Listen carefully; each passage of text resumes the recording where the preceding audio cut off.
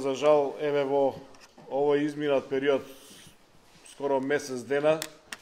каде што имавме интензивни и контакти и преговори со надлежните министерства, предводени од ресорните министри, па и вклучување на представници на владата, како што се премиерот, вице-премиерот, министерот за финансии, до денешен ден, до денес, немаме позитивни резултати по однос на нашите барања. Со оглед на тоа што одлуката е донесена со огромен број на мнозинство на наши членови, кои што се изјаснија во синдикалните организации, неминовно е штрајкот да започне во текот на утрешниот ден, така како што е најавено.